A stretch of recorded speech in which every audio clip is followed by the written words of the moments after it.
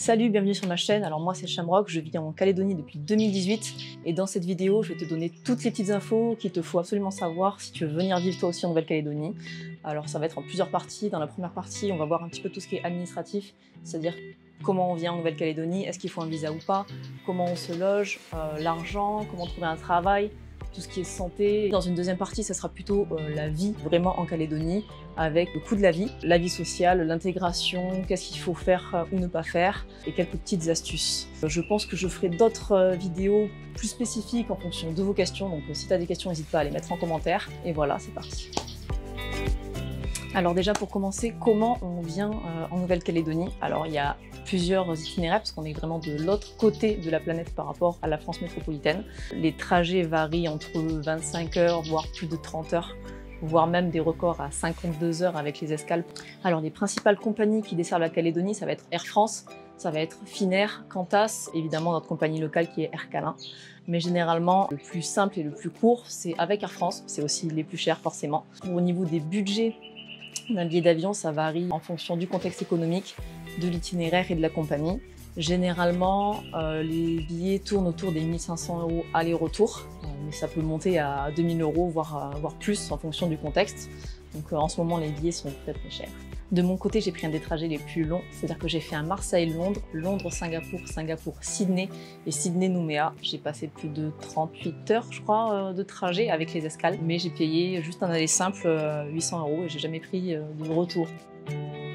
Au niveau administratif, euh, pour euh, venir en Calédonie euh, et y travailler, il n'y a pas besoin de visa si vous êtes de nationalité française, parce que la Nouvelle-Calédonie fait partie, entre guillemets, de la France. C'est un pays d'outre-mer, avec son propre gouvernement, il y a ses propres lois aussi.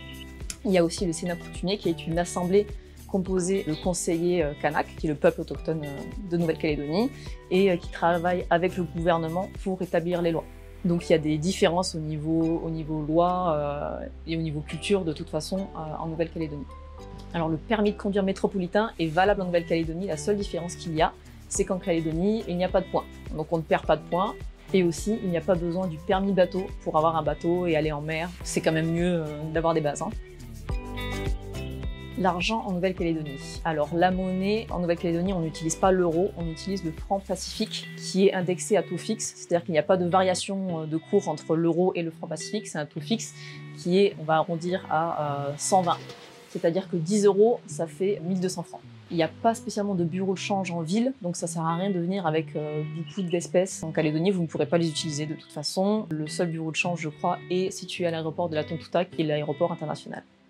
Pour les banques, euh, il te faudra ouvrir un compte en banque euh, local dans une des banques calédoniennes. Alors il y a des banques qu'on retrouve en France et en Nouvelle-Calédonie, mais elles sont indépendantes. C'est-à-dire que si tu as un compte euh, à la BNP en France, il te faut ouvrir un compte à la BNP ici, par exemple. Après, il y a plusieurs banques locales aussi, comme la BCI, la BNC ou l'OPT.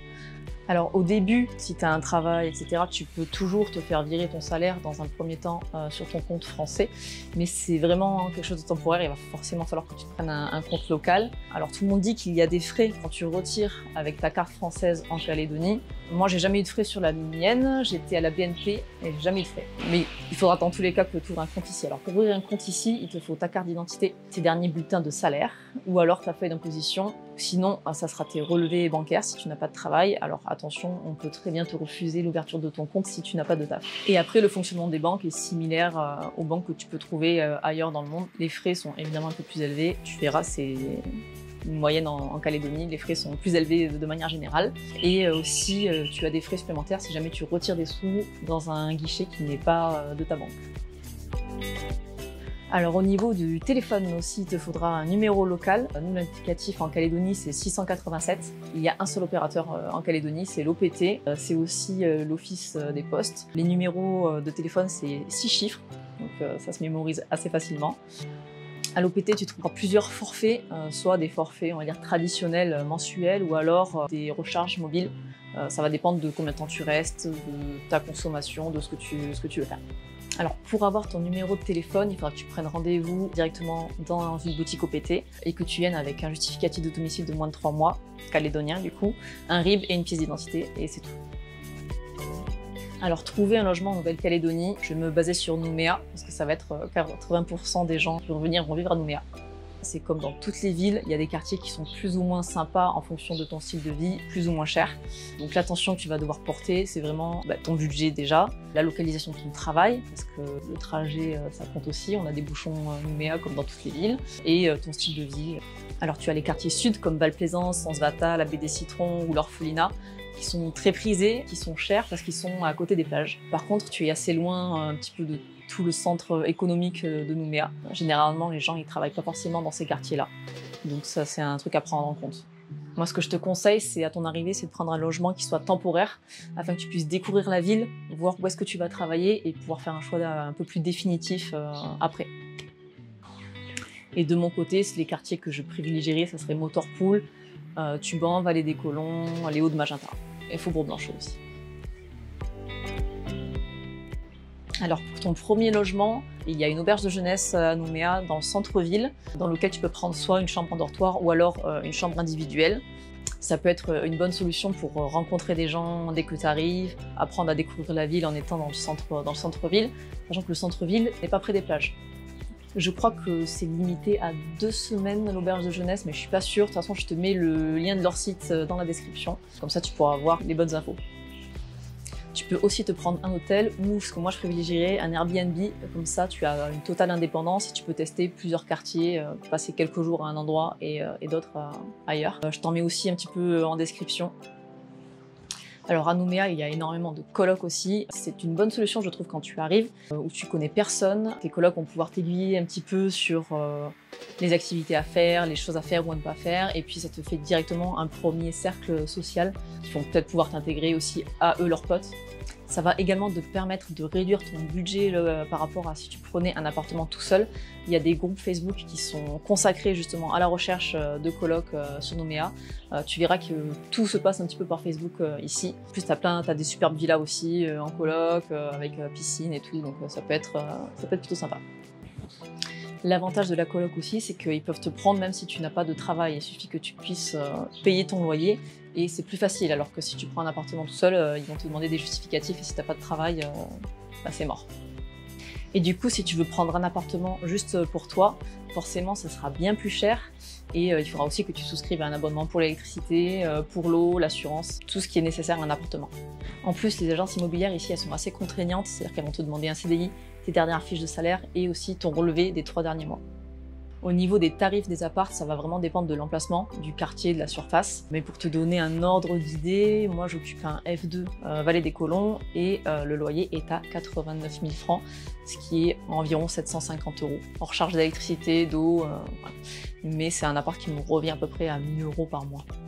Et moi, ce que je te conseille, c'est d'avoir un loyer qui est à peu près égal à un tiers de ton salaire. Parce que sinon, ça va être un petit peu, compliqué. Alors pour trouver ton logement, tu verras qu'il y a plusieurs sites, euh, dont euh, Immobilier NC, qui est un des principaux. Il y a aussi euh, bienmeloger.nc et évidemment Facebook, dans lequel tu trouveras plusieurs, plusieurs groupes qui sont focus sur l'immobilier, que ce soit en particulier à particulier, location, coloc. Alors, trouver un travail en Nouvelle-Calédonie. Alors déjà, pour chercher un travail, euh, le mieux c'est d'être sur place. C'est très rare que les entreprises te fassent passer des entretiens ou recrutent si tu n'es pas sur place, sauf si tu as vraiment un profil spécifique qu'ils recherchent et qu'on ne trouve pas sur le territoire et tu trouveras plus ou moins facilement du travail en fonction de ta branche. S'il y a déjà euh, les compétences sur le territoire, ça sera plus compliqué pour toi de trouver du travail. Après, tout ce qui est secteur médical et restauration, c'est beaucoup plus facile de trouver. Dans le médical, il y a beaucoup d'infirmiers, de, kinés, d'ostéos qui viennent euh, en Nouvelle-Calédonie pour travailler. Mais après, globalement, on te laisse plus ta chance euh, ici qu'en métropole. Donc si tu es motivé, que tu apprends vite, que tu es un bon élément, en fait, il y a plus de chances que tu trouves un travail facilement. Alors pour euh, consulter les offres d'emploi, il y a plusieurs sites. Il y a JobNC, il y a Emploi.nc, Annonce NC. Il y a des journaux papier comme les nouvelles où tu as des annonces d'offres d'emploi euh, vers la fin du journal.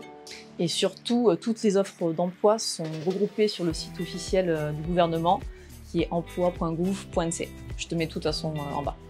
Alors, en Nouvelle-Calédonie, il y a une loi spécifique à l'emploi qui privilégie l'emploi local. C'est-à-dire qu'à poste et compétences égales, l'employeur doit embaucher un Calédonien, un citoyen calédonien du coup qui est né euh, en Nouvelle-Calédonie.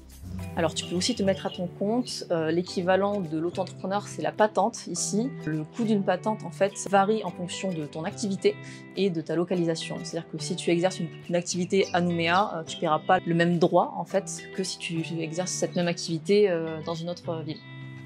Au niveau des salaires, le SMIC est à 150 000 francs en Calédonie, c'est-à-dire 1300 euros. Sachant qu'il y a une bonne partie de la population qui vit en dessous. Le salaire médian, lui, est à 240 000 francs c'est à peu près 2000 euros. Et pour les fonctionnaires, le salaire est indexé à taux de 1,73 si tu travailles sur Nouméa et 1,94 si tu travailles dans les autres communes. Au niveau des impôts, c'est comme le reste, il y a des différences euh, entre la métropole et la Nouvelle-Calédonie. Je t'invite à te renseigner directement sur le site des impôts pour être sûr. Alors au niveau santé et assurance maladie, alors déjà, euh, premier point, t'as pas de souci à te faire, on trouve tout en Calédonie, que ce soit euh, les infrastructures, les médecins et leurs spécialités ou les médicaments. Alors ici, c'est pas la sécurité sociale, c'est la CAFAT. C'est un autre fonctionnement, c'est d'autres remboursements. Pour t'inscrire à la CAFAT, si tu trouves un travail rapidement ou que tu en as déjà un à ton arrivée, c'est ton employeur qui va t'inscrire à la CAFAT. Et sinon, c'est à toi de faire les démarches si tu n'as pas de travail ou si tu te mets à ton compte. Alors, il n'y a pas de carte vitale euh, ici et tu ne peux pas utiliser ta carte vitale de métropole. À chaque fois que tu vas avoir un rendez-vous ou un acte médical, on va te donner une feuille de soins qu'il faudra que tu transmettes euh, à la CAFAT ou euh, à ta mutuelle. Alors les mutuelles justement, c'est pas les mêmes qu'en métropole. Il y en a différentes et qui vont varier en fonction de ta branche. Par exemple, tu vas avoir la mutuelle des fonctionnaires, des patentés libéraux ou du commerce. Et elles ont chacune leur spécificité au niveau cotisation et remboursement. Donc au niveau des hôpitaux, il y en a plusieurs en Nouvelle-Calédonie. Une bonne partie est concentrée sur Nouméa, dont le plus gros qui est le Medipol. Il y en a également trois qui sont en province nord et tu trouveras des dispensaires un petit peu euh, sur les îles. Donc voilà pour cette partie 1, je t'invite directement à t'abonner pour pas louper la partie 2 dans laquelle on va parler du coût de la vie, de la vie sociale en Calédonie, de l'intégration. Je t'invite également à aller faire un tour sur mon compte Insta dans lequel je partage mes meilleurs spots, euh, des activités, de la culture et un petit peu d'histoire de Nouvelle-Calédonie également. Si tu as des questions, je t'invite à les mettre en commentaire que ce soit sur cette vidéo spécifique ou sur la vie en général. Comme ça, je pourrais m'en servir pour éventuellement faire une partie 3 avec des sujets qui n'auront pas été traités. Et puis, euh, je te souhaite un euh, une bonne élaboration de projet pour ta nouvelle vie et on se croisera peut-être sur la baie des citronnes.